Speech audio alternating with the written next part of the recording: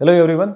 I hope all of you are doing great. Nowadays, uh, there is a question, especially parents who are aspirational, parents who want their children to become IAS, IPS officers. They have this question: uh, when one should start the preparation. Some people are selling the idea that you know coaching should be given from the school days itself. Children should start preparing from the school days itself. So I wanted to share my uh, opinion here. Now the examination demands certain uh, intellectual curiosity, intellectual depth among the candidates. And what I've seen is that uh, most of the people start preparing for the examination after graduation. Once they join the coaching center, then they start reading English newspapers and then they struggle to understand what is written, especially in the editorial. And uh, they lack this, you know, analytical thinking, critical thinking abilities, you know, extracurricular activities. They wouldn't have developed any hobbies or interests. You know, UPSC examination has three parts prelims, mains, and interview. In interview, the personality is tested. Personality, which is rich with ideas, hobbies, interest. The one shows you know lots of diversity in their answers, in their the ability to engage uh, you know all the five people sitting in the room so that kind of quality cannot be developed overnight or even in two three years after the graduation this is something that must be cultivated from school days so coming to the point you don't have to send your children to coaching during puc even in the first or second year of graduation. Let them develop interest in reading. It can be fiction it can be non-fiction it can be reading any general book it can be magazines especially reading newspapers. Your child starts reading newspaper let us say from 6th 7th 8th standard onwards. They will not require any kind of coaching when they graduate because by then they would have gained the required knowledge about all the issues. So don't force them to uh, excel only in academic because their attention their focus will majorly shift towards only excelling in academic and they will always have this fear of you know wasting time when they read uh, paper or when they read you know other books. So you have to ensure that learning is endless. Tell them that there is no difference between what they are learning in academics and what they are learning outside the classroom. So and also fill your uh, cupboards or whatever like you know spaces in your house with good amount of books so that they develop the habit and encourage them to make friendship with uh,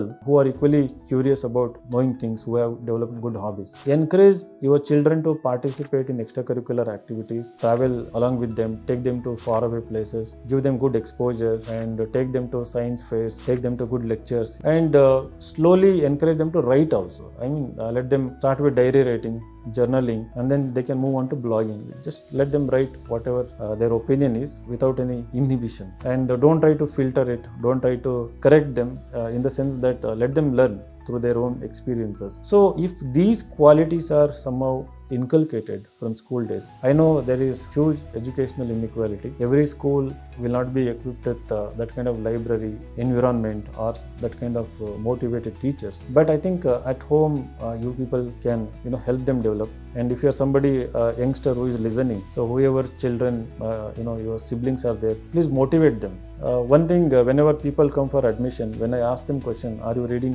any newspaper? So they say that uh, I, becoming ias was their childhood dream. Like the dream might have been planted when they were in 8th or 9th standard. They tell that they have never read any english newspaper. For that matter sometimes they would have gone through local newspaper now and then but there is no strong habit of reading newspaper. So upsc examination is more about general awareness. The more deeper it is the more diverse it is the quicker one can crack this examination. So regarding uh, uh, you know tests and mock tests when they are in the graduation uh, once they have understood the syllabus so second part of graduation they can go for it. And uh, if somebody has done all these things coaching won't be necessary. Uh, definitely guidance will be required, mentoring will be required so that you can approach any experienced uh, individual who, who have worked in this field or maybe a topper or someone. To sum it up, coaching is not required.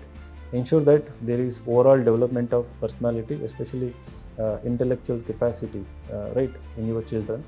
So that will take care of preparation for the UPSC examination. And another thing I wanted to uh, tell is that uh, 11th, 12th science is desirable. After 12th, uh, if your child has done really well in board examination, you can send them to uh, humanities in topmost institutions like Delhi University, they have best colleges where the institutions provide freedom to use their creativity and provide opportunities like you know sports and extracurricular activities such institutions will further uh, help them you know develop their social capital and get in touch with uh, competitive people who are ambitious so i think uh, this will take care of overall preparation for the examination as individuals intellectually and uh, overall they will be ready to serve the country in the capacity of either IAS, IPS, or Indian Foreign Service or any other central services. So I hope you got the clarity. Thank you.